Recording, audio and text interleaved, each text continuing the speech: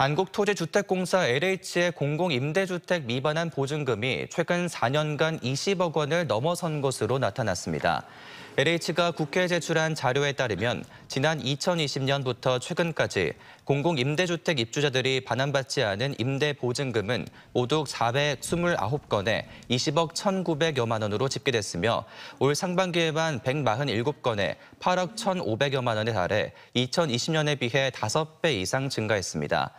지역별로는 충남 25건, 충북 42건 등이며 미반환 사유는 임대인의 사망과 상속인 파산 등이었으며 LH가 보증금 반환 처리 시스템을 적극 마련해야 한다는 지적이 나왔습니다.